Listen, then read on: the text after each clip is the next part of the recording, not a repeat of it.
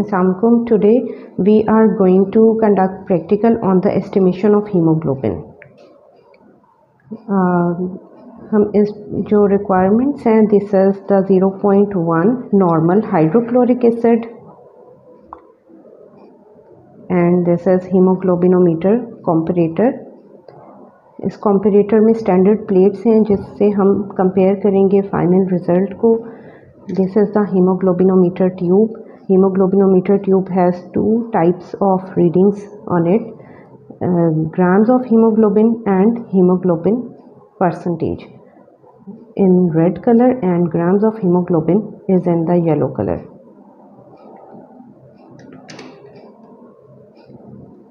this is a dropper dropper से हम hydrochloric acid add करते हैं हीमोग्लोबिनोमीटर ट्यूब में और एंड पे हम डिस्टिल्ड वाटर ऐड करेंगे and this is the stirrer stirrer से हम मिक्स करेंगे हीमोग्लोबिनोमीटर ट्यूब में ब्लड और एसिड को. And this is the haemoglobinometer pipette इस पे मार्क है 20 माइक्रोलीटर का. It has 20 microlitre mark on it so we are going to start it. First of all, we need point one normal H C L point one normal H C L को हमने लेना है lowest marking तक which is zero point zero two grams with the help of dropper I will add a few drops of point one normal H C L up to the lowest marking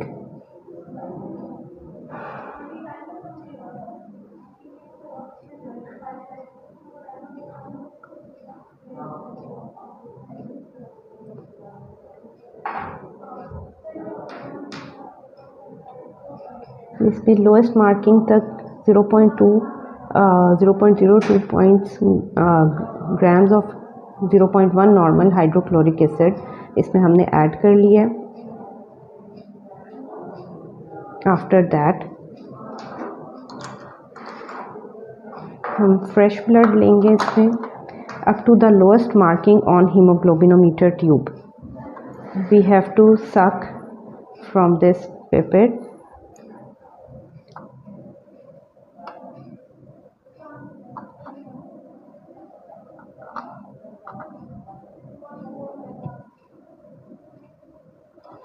up to point 2 mark.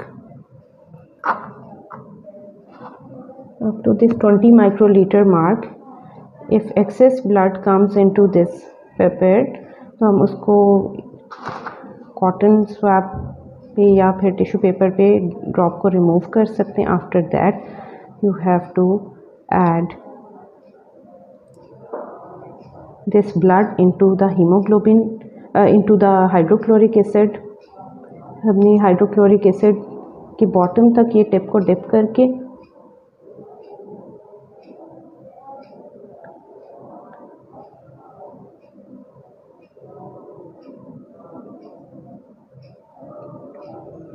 इसमें empty कर देना है blood को। After that gently mix with the help of stirrer blood and acid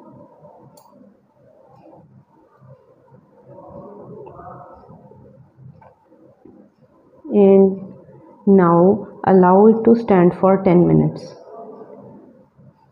This will cause the formation of hematin. Let it rest for 10 minutes.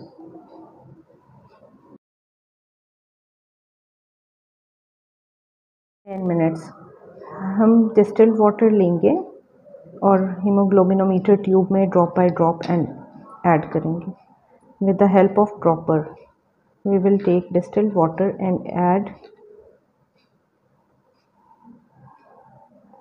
dropwise into the tube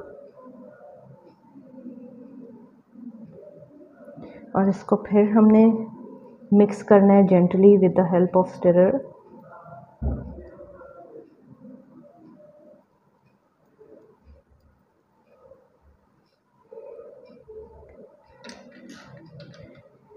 और इससे कम colour को compare करना है। हमने जो standard colour plates हैं, उनके कलर से जब ये कलर मैच हो जाएगा, हमने तब तक इसके अंदर drop by drop water add करना है।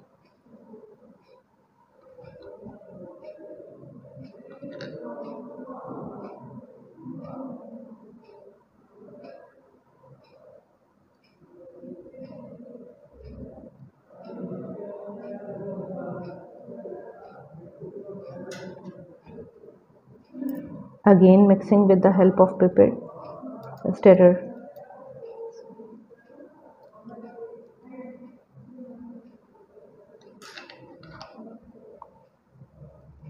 अभी हमारा जो हेमोग्लोबिनोमीटर ट्यूब में कलर है, वो डार्क है।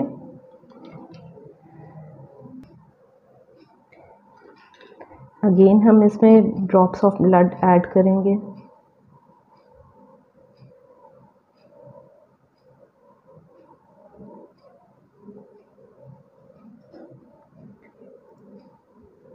स्टेरर से मिक्स करेंगे।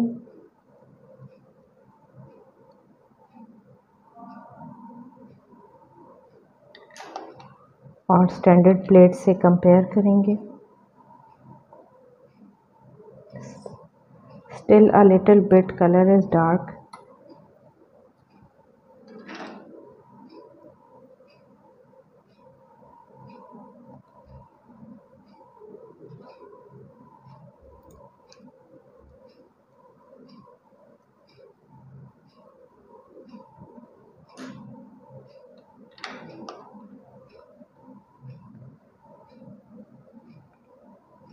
now the color of the hemoglobinometer tube, it is matching the color of the standard tubes in जो लेटरल साइड पे जो ट्यूब्स हैं उनमें और सेंट्रल ट्यूब में हीमोग्लोबिनोमीटर ट्यूब में कलर एग्जैक्टली सेम है। अब हम इस ट्यूब को निकालेंगे और इस पर ऑब्ज़र्व करेंगे कि ये इसको रीड करेंगे स्केल को। And it is almost 11 grams per 100 ml 11.6 grams per 100 ml